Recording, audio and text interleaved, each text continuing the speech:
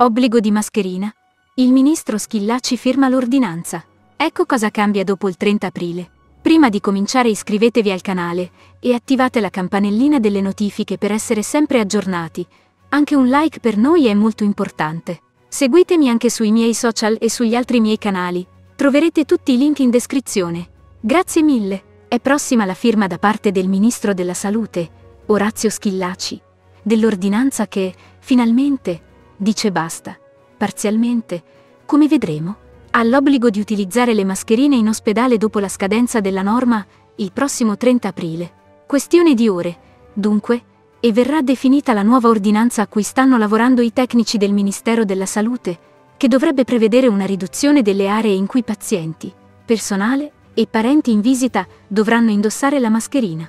In verità, l'obbligo di utilizzo delle mascherine resterà nelle RSA nei reparti ospedalieri di malattie infettive e nei pronto soccorso, per il personale dipendente e i parenti in visita, ha precisato lo stesso ministro a margine della cerimonia delle medaglie al merito per la sanità pubblica al Quirinale, annunciando che oggi stesso firmerà l'ordinanza in materia. A partire dal primo maggio, dunque, nei bar, in mensa e nelle sale di stazionamento degli ospedali, le mascherine non saranno più obbligatorie né consigliate secondo quanto verrà sancito dalla nuova ordinanza.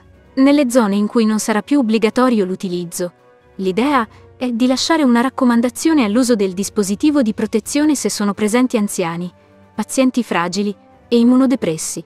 Ma in ultima analisi tale decisione spetterà ai direttori sanitari degli ospedali, ai direttori medici delle strutture territoriali e ai medici di famiglia e pediatri, nei loro studi e nelle sale d'attesa. Era stato lo stesso ministro Schillaci, lo scorso 30 dicembre, a prorogare l'obbligo dell'utilizzo delle mascherine come misura anti-Covid nei luoghi a rischio, una misura ereditata dai governi Conte e Draghi.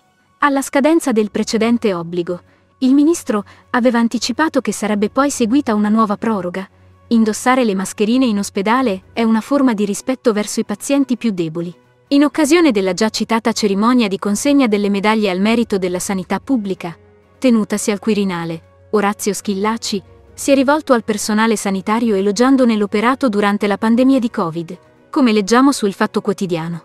Ecco le sue parole. Nell'affrontare la più grave crisi sanitaria dai tempi della Prima Guerra Mondiale, avete mostrato molto più del semplice senso del dovere, ha detto il ministro. Vi siete fatti testimoni dei valori di solidarietà, altruismo e fratellanza, anteponendo la sicurezza, e la salute della collettività a quella individuale. La notizia per il momento è solo per il momento, termina qui. Se non lo avete ancora fatto questo è il momento giusto per iscriversi al canale. Attivate anche la campanellina delle notifiche per essere sempre aggiornati e non perdervi neanche un video. Seguiteci anche sugli altri canali e sui social. Troverete tutti i link in descrizione. Lasciate anche un like e un commento, ci aiuterà ad indicizzare meglio il nostro canale. Grazie mille del sostegno. A questo punto io vi auguro una splendida giornata. L'appuntamento è sempre per la prossima notizia.